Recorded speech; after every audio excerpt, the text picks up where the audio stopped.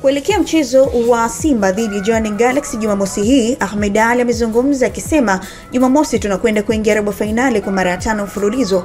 Kwetu sisi kuingia robo ni jambo la kawaida. Tumezoea kucheza robo na hatujawahi kuishia makundi tangu tumeanza kampeni yetu ya kimataifa. Aliendelea kusema, tulimuua AS Vita Moto, tulimuua Horoya, hatuwezi kushindwa kwa Jwaneng Galaxy. Simba anapoitaka robo fainali hakuna wa kutuzuia, hata timu zingine zote duniani zitengeneze timu moja. Jwaneng amekuja wakati mbaya, muda sasa ambao tunataka kulipiza kisasi.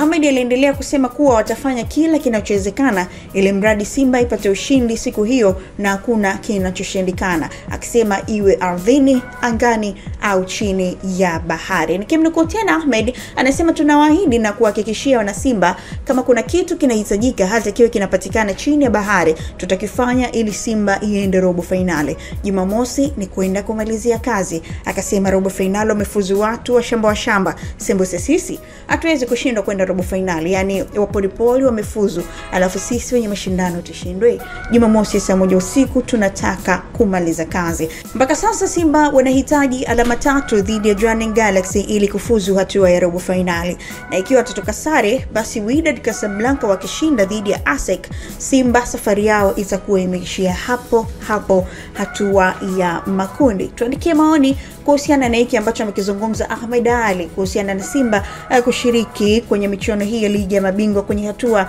ya robo fainali. Imekuwa ni kitu cha kawaida kwa sasa hivi kiasi kwamba uh, ni Simba ikitakapojipanga inaweza kupata matokeo kwenye mechi yoyote ile, ili mradi inahitaji matokeo kuelekea robo fainali. Tuwekee maoni hapo chini, lakini vile vile endelea kutufuatilia kwenye peji zetu za mitandao ya kijamii PM, tunapatikana kwa PM TV TZ.